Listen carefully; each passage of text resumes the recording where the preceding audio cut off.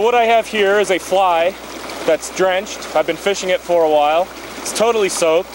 When I hit the water, it half sinks and goes under the water. It's time to use our dry shake spray. So I take the spray, I shake the can, I grab my fly, and I hold the can, oh, about 12 inches away.